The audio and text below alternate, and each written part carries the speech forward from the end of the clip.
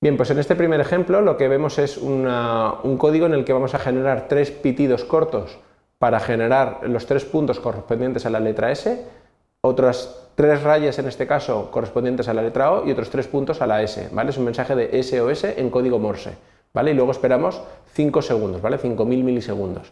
Bueno, como veis aquí tenemos el código que os he descrito, ¿vale? Yo ya he subido el código a la placa, vamos a pasar un momento a la cámara cenital, ¿vale? Como veis estoy apretando el botón de reset para que eh, no genere ningún sonido, ¿vale? Voy a soltarlo para que lo escuchéis.